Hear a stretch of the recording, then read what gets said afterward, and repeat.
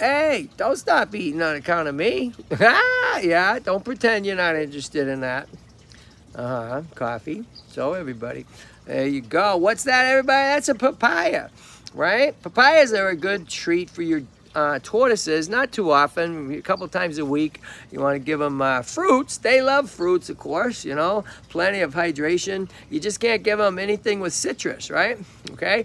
And, uh, you know, hibiscus, as we talk about, which isn't a fruit. The leaves are awesome, mulberry leaves, lots of things. But anyways, the point is, I just got home a little while ago and I went to a place, they had papayas really cheap on sale, right? So I'm like, okay, uh, and uh, I put the bag down. Before I knew it, who's on it is Coffee, Punk, uh, the two Redfoots, everybody. Oh, who's else is out? Let's try. Let's see. Oh, take a look. Who's growing? It's Tiny Green, the box turtle. Dude.